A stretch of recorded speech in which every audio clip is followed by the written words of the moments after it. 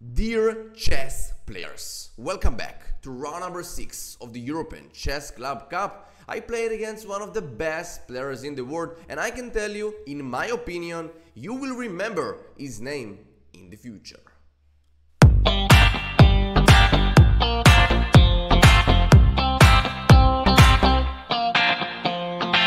Hello everyone and welcome back. My name is Nitzan Steinberg. I'm Chess Grandmaster and today we will see together round number 6 recap of the European Chess Club Cup. I had white pieces against a very strong Grandmaster from Uzbekistan rated 2654 and currently he is the second board of the Uzbekistan national team who won the gold medal in the 2022 Chess Olympiad. This game was incredibly challenging with intense moments and deep strategies. Take a second to stop the video and guess the result. Do you think I managed to break through his defenses? Or maybe his just unbelievable talent break me up? So if you enjoyed these recaps, I really appreciate it. If you can just click the like button and subscribe to the channel. And you know all of this just support my uh, motivation to do every single day videos for you. So let, now let's dive into the action and see how it all played out. So I played of course against Grandmaster Nodirbek Yakubboev. And it goes like e4 c6 he's playing the move c6 after seven and a half minutes of thought. No sorry it just came wait you know it just came uh, um, you know seven minutes uh, after the game started right? Came late. So c6 Caro-Kann variation and I'm playing move knight f3 of course d4 here is the main line after d5 knight c3 d takes c4 knight takes c4 bishop f5 or knight f6 so much theory here and I didn't want to go for it but of course I can play also this line. But I played the move knight f3 and after d5 the move knight c3. Another option that I played a lot of time is e takes d5 and after c takes d5 knight e5 sorry and after knight c6 the point here d4 And it's really nice. I played uh, this uh, position against Svane Rasmus from Germany uh, in Gibraltar, I don't know, maybe six years ago. Uh, it, it, was a really nice game. Uh, it finished by a draw. So I played the move knight c3 with these two knights. And he played the move bishop g4 very fast. And now I play the move bishop e2.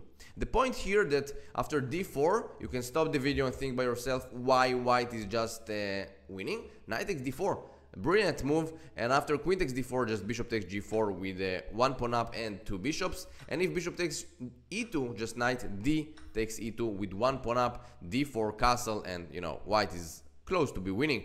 So bishop e2 was played and now uh, knight f6 was played by him. Another option here to play move e6 or maybe d takes e4 but he played the move knight f6 and you know i will not give you all of my preparation here, but I was well prepared in here. I know a lot of variations, uh, so maybe one day I will publish it, uh, you know, also here in my YouTube channel. But until that moment, uh, I will show you the game. So knight f6, e5, knight fd7, and now d4. And here uh, e6 was played. Of course, after bishop takes f3, just bishop takes f3, and now e6, I have the move knight e2, and after c5, just c3, and this is nice position to play with white. So he played the move, um, yeah, e6 right away, and now I play the move castle. After h3 here, just bishop takes f3 and bishop takes with c5 and I don't have the possibility to play the move c3. So I played the move uh, castle and now he played c5 immediately. After bishop takes f3 here, I can take it and after c5 there is a lot of variations after knight takes d5. I will uh, show you it, you it maybe uh, later, okay? So, you know, one year from now, maybe two years, maybe, I don't know, yeah, you know, I saw some very strong uh, player, uh, Grandmaster Boris Avrukh. There is a very nice YouTube channel that he has, and you know, I, I think he upload every single week one video about some opening preparation, and it's really nice because he's giving you the opportunity to learn a little bit, and also give you the opportunity to buy his PGN uh, by his work, right? We are we are chess players, so we are working about analysis and such, uh, and it's really nice. So I, I, also recommend you, and also maybe one day I will do something like this.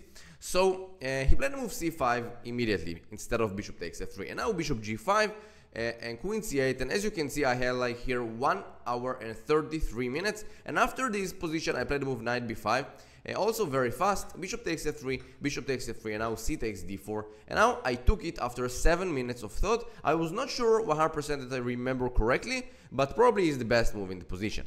So here he played the move bishop c5 also very fast. And knight e5 you probably ask yourself why is not good because of rook e1 just uh, developing my rook and as you can see after knight takes f3 just queen takes f3 and my pieces are just amazing right? This knight this bishop this rook uh, oh sorry uh, this rook of course the queen also rook e d1 with c4 maybe. You know I i'm just attack here uh, and my king is just brilliant and his king is really weak uh, and of course open right? Knight f5 i don't know so much lines here. For example knight c6 just queen takes d5 and, and yeah, it's it's not so easy because this bishop uh, need to protect this pawn on g7. So probably white is clearly better here. So after knight takes d4, bishop c5 was played, and I played the move bishop f4. And this was not the best move by me. Uh, probably the best here was c4, and I, I probably uh, forgot this move because after d takes c4, I have the move knight b5. And here, knight takes e5 is just blundering uh, the game immediately after bishop takes b7. Just amazing, amazing move here, attacking the queen and also the rook after queen takes b7, queen d8, checkmate on the board. So yeah, it's nice. Uh, but here, of course, castle, knight d6, bishop takes, e takes d6. Yeah, I was... It's, it's really, really um, surprising that I didn't remember this line because I think it is in my preparation. So yeah, Bishop f4 was I played after bishop c5 and here he played move knight c6. Bishop takes d4 also was an option for him after queen takes d4, uh, queen c2. But okay, you know, it's it's really uh, unbelievable to play such such move here uh, because after rook ac1, knight c6. This is the point. And yeah, black is just one pawn up. Uh, so after knight d4, yeah, bishop c5 and I played the move bishop f4. Wow, you know, I, I, I was not sure. This is the move that I played?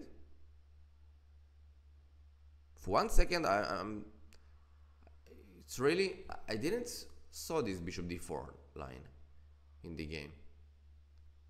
I don't know. Play the move knight c6.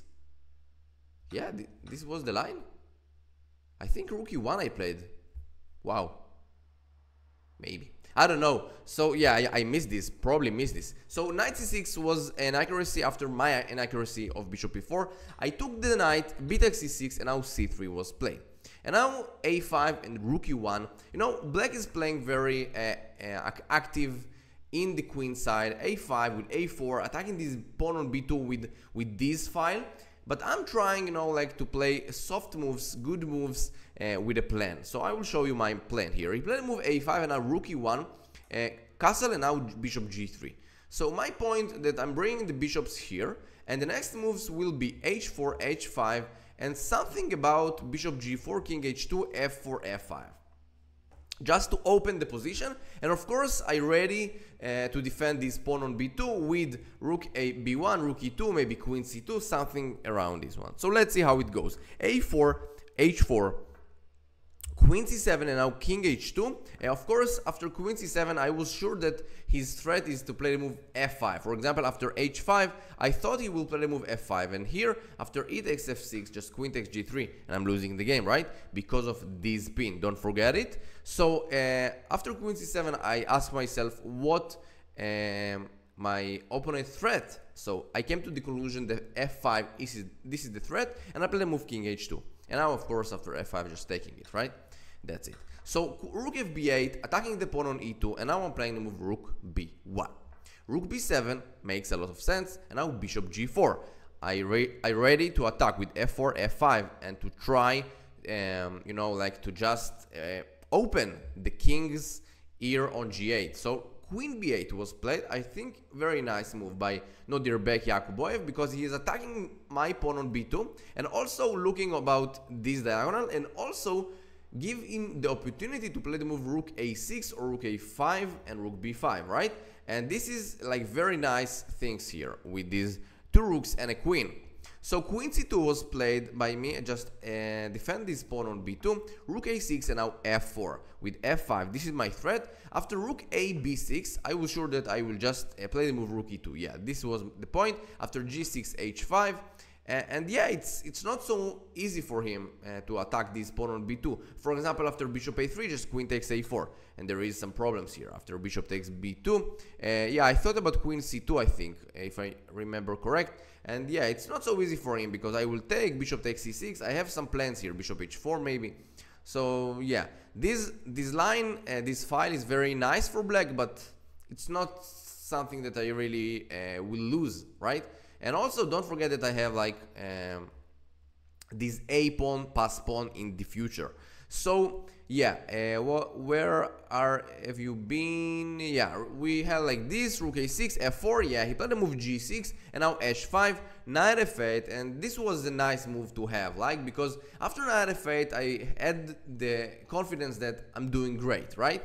And I'm doing fine, and he's playing like very passive move. I played the move rook e2, uh, also, you know, like to overreact on this b2 pawn. He played the move rook a b6, and now queen takes a4, rook a7. After rook takes b2, I was sure that I will just take rook takes b2, rook b takes b2, rook takes and queen takes c6, and here, I don't know, for me at least, it seems like very good position.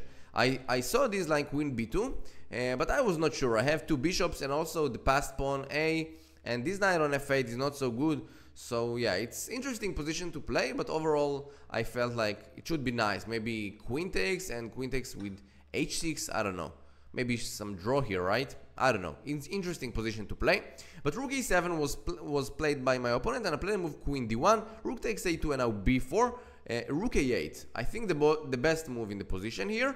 And here I was not sure how to play. So rook e b2 was the best here. Uh, and after bishop e7, I had like queen c2, with bishop f2 and you know after c5 of course I can take it because I just defend the rook on b2 so this position is is really nice for white. And you know this bishop on e7 and this knight on f8 uh, doesn't work at all right? So yeah I played the move rook a1 and I had like 23 minutes against 6 uh, and 48 seconds. So yeah in only 27 minute uh, moves sorry. So this line you know rook a1 was a mistake by me I think uh, because rook e b2 is just um, giving up giving up the pressure here right? It's not like uh, uh, simplify the position. So yeah probably rook a1 was the mistake.